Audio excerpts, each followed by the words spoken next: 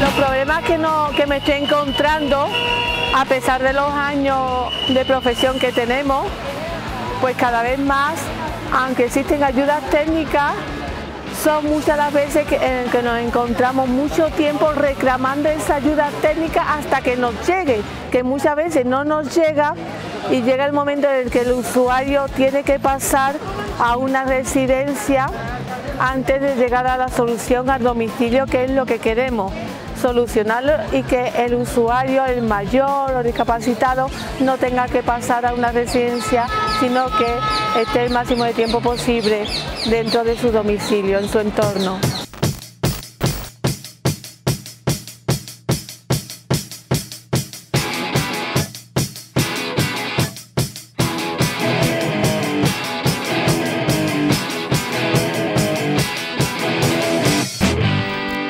Servicio consiste en que las personas que no se pueden valer por sí mismas, el ayuntamiento, pues cuando tienen una minusvalía o son personas mayores que ya no se valen por sí mismas, pues le pone según las necesidades a una persona pues para que le atienda sus necesidades como el aseo, la limpieza de la casa o los mandados, si necesita que le hagan de comer, y cosas así. Los trabajadores están contratados por una empresa que ha contratado previamente el ayuntamiento pero que la empresa no se preocupa mucho ni de los usuarios ni de las trabajadoras, o sea que ellos van a lo suyo. Yo ya he protestado un montón de veces. Yo empiezo a las 8 y cuarto, estoy con el primer usuario, estoy tres horas, termino a las 11 y cuarto y luego tengo un trayecto larguísimo hasta la otra punta del barrio y ahí he hecho otras dos horas más. Esas dos horas, pues igual, acompañamiento, aseo, en lo que el, dependiente necesite.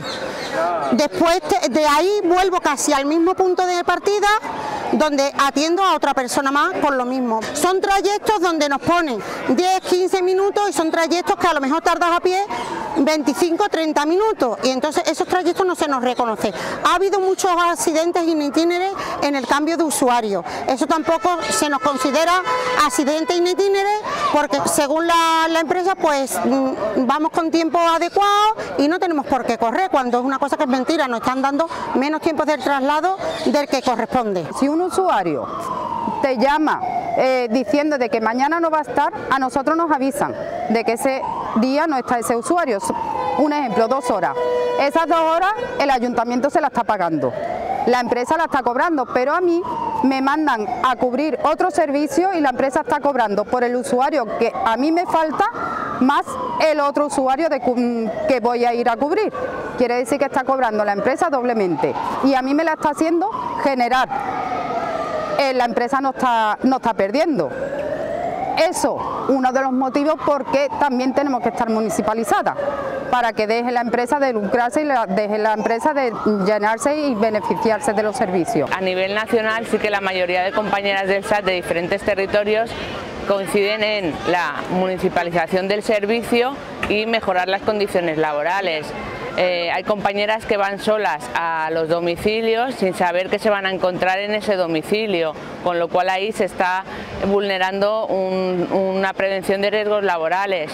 Y muchas otras cosas que seguramente al, no tener un espacio físico de trabajo establecido, lo que se hace es que las evaluaciones de riesgo que puedan llevarse a cabo no son exhaustivas y no contemplan los riesgos que las compañeras tienen en su día a día, en su jornada. Yo tengo un contrato de 27 horas 48, tengo dos niños de 7 y 4 años y, claro, es que yo no, yo no llego a los 800. ¿eh? entonces, claro, eh, los niños por la mañana en el colegio, por la tarde está en el comedor para que me dé tiempo a mí de poder sacarlo. Entonces, a ver, si se hicieran los contratos a lo mejor más completos. Es un trabajo que gusta.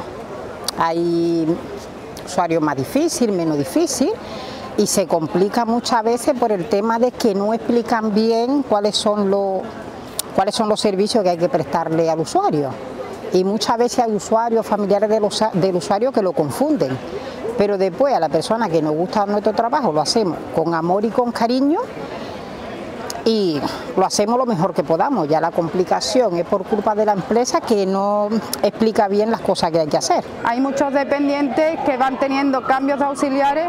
Si nosotros faltamos porque estemos de una baja o tengamos unas vacaciones, al cabo de 15 días puede pasar por ese domicilio 15 auxiliares.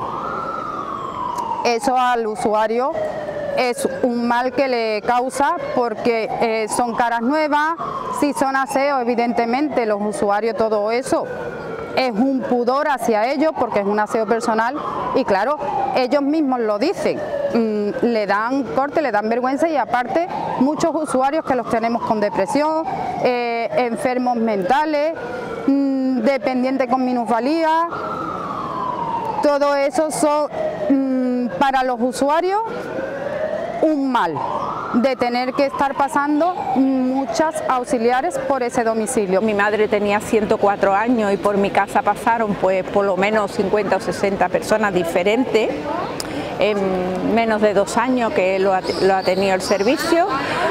Pasa que si hay una baja pues no te, no te mandan a la persona, tienes que llamar, oye, que la persona esta no me ha venido y, no te mandan a esa persona sustituyendo a la que se ha ido de baja, que supongo que ha dado un parte de que está de baja y tú sabes que esa persona está de baja.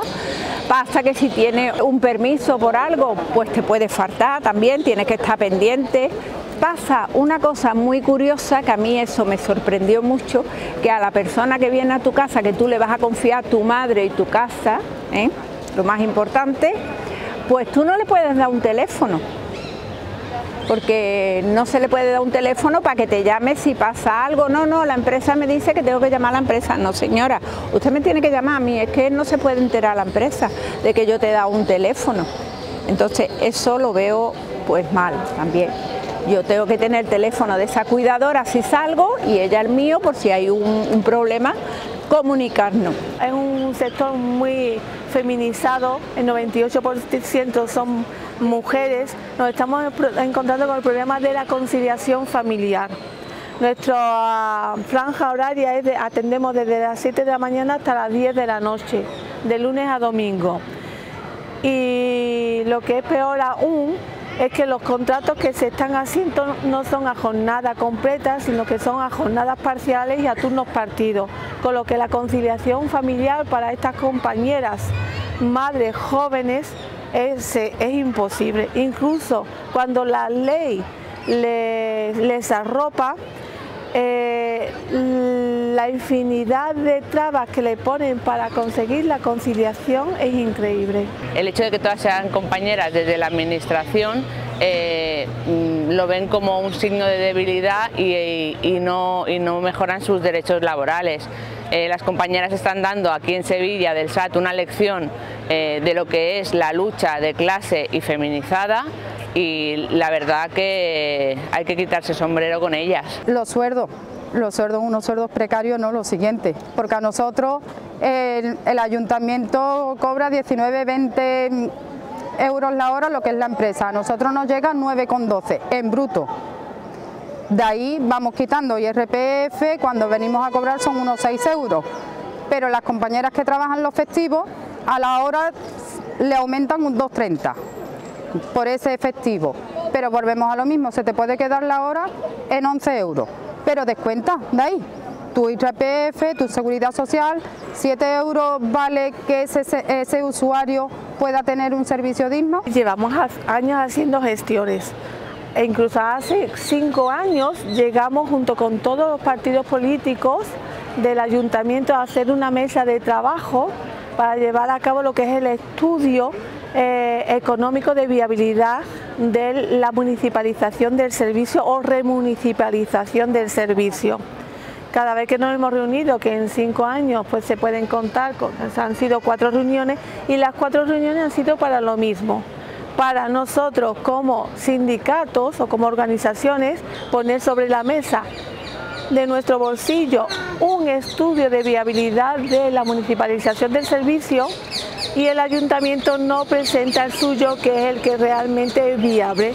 porque saben perfectamente que si lo hace va a ser positivo, ya no tendrá esa excusa de que no es beneficioso para el ayuntamiento la municipalización del servicio. A este punto hemos llegado después de una lucha bastante grande, de, de reunirnos con muchísimos políticos, de venir todos los meses al pleno a recordarle al señor alcalde la precariedad que tenemos.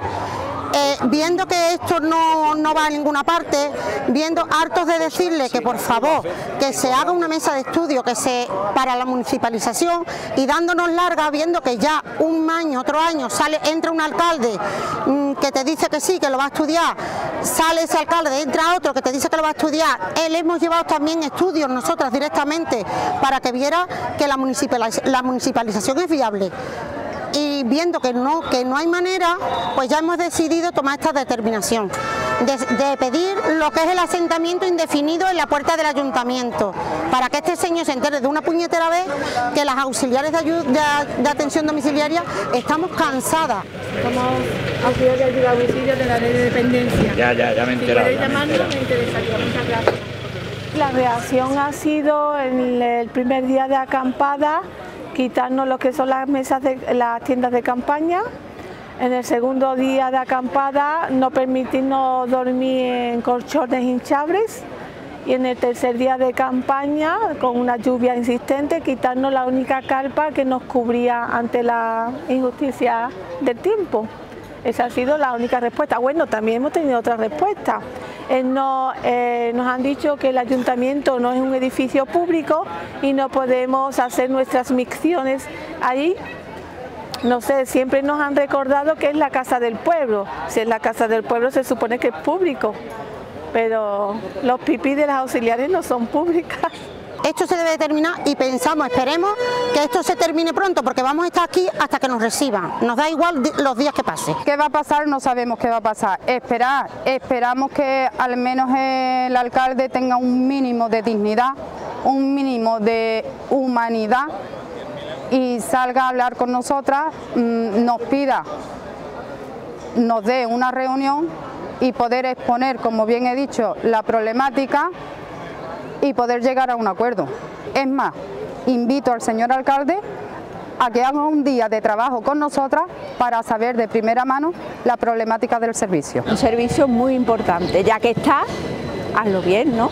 Lo más importante es que quien tiene contratada esas empresas para gestionar ese trabajo, el ayuntamiento, tiene que hacer un seguimiento para que estas personas que hacen ese trabajo tan, hombre, es un trabajo muy duro.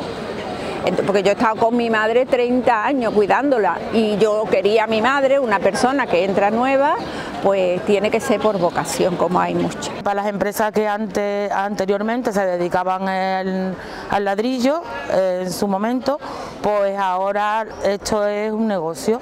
Ellos, tanto las trabajadoras como los usuarios, somos números pero ven lo que es un, un negocio, empresas buitres, que, que, ven aquí un, un, beneficio para ellos, para su bolsillo. Ves cosas tan injustas que hay personas mayores que a lo mejor tienen solamente una hora y les hacen mucha falta y ves a otras que no les hacen tanta falta y tienen el máximo de horas. Llevo 25 años en la profesión, he sido de un sindicato, he sido de otro sindicato, ahora soy de este, pero la reivindicación que aquí venimos es las reivindicaciones de las auxiliares de atención domiciliaria, es algo todo común, entonces lo que pedimos es, como hemos invitado que se impliquen a nuestras compañeras de comisiones obreras, a nuestras compañeras delegadas de UGT, que se unan, porque como dicen, es el objetivo que ellas tienen históricamente la municipalización. Juntas sí lo podemos conseguir, separada es un poco más difícil. Entonces, si es algo histórico que ellas lo han llevado, que por favor vengan y nos unamos todas.